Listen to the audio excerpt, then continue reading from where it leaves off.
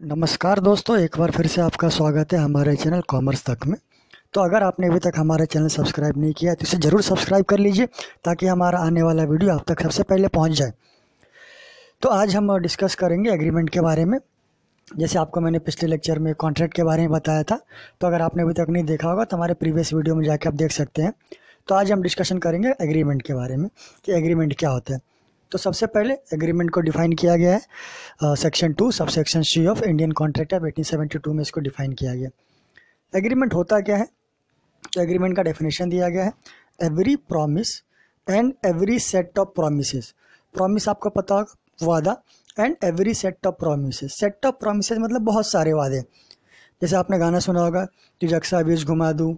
चाचा की चाय पिला दूँ, बच्चन से तुझे मिला दूँ। तो यहाँ पे तीन वादे किए गए। तो ये क्या है? सेट ऑफ़ प्रॉमिस है।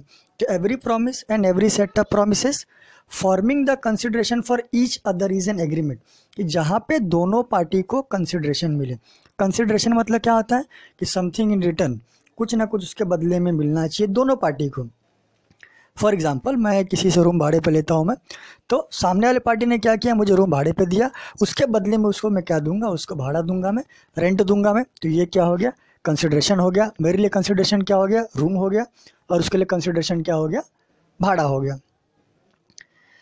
तो अब हम इसके कुछ देखते हैं essentials of valid agreement agreement के लिए कौन कौन सी खास बातों का ध्यान रखना है? सिंपल तरीके में इसको हम ये भी बोल सकते हैं कि फीचर्स ऑफ़ एग्रीमेंट तो सबसे पहला valid offer in acceptance agreement के लिए क्या होना चाहिए?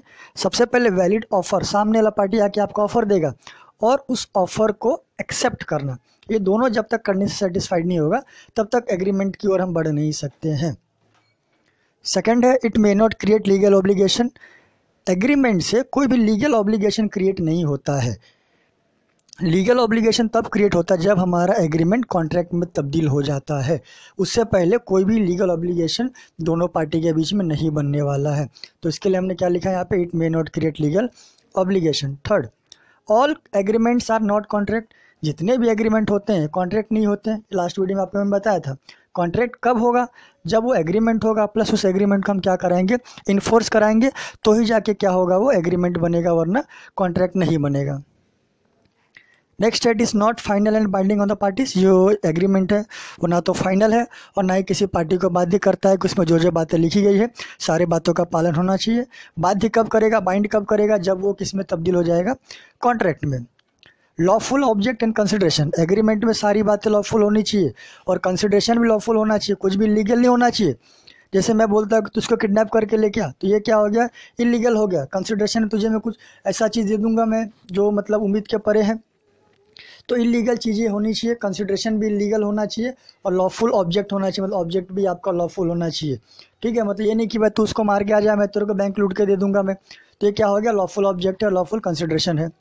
और लास्ट जो सबसे इंपॉर्टेंट है party should have capacity to contract अगर कोई भी हम एग्रीमेंट बना रहे तो एग्रीमेंट उसी के साथ बनाना है, जो पार्टी कॉन्ट्रैक्ट करने के लिए क्या है कैपेसिटी रखता है। कोई भी इनकम्पिटेंट पार्टी से कॉन्ट्रैक्ट करना नहीं है। अब ये होता क्या है मैं आपको नेक्स्ट वीडियो में बता सकता हूँ कि कैपेसिटी टू कॉन्ट्रैक्ट क्या होता है। सिंपल भाषा में भी समझिए कि जो माइनर है, उसके साथ कॉन्ट्रैक्ट करना नहीं है, क्योंकि वो कॉन्ट्रैक्ट करने की क्षमता रखता नहीं है। बिकॉज़ वो क्या है कैपेसिटी में नहीं है, कोई भी कॉन्ट्रैक्ट कर सके। तो आज के लिए इतना है दोस्तों। थैंक यू नमस्कार।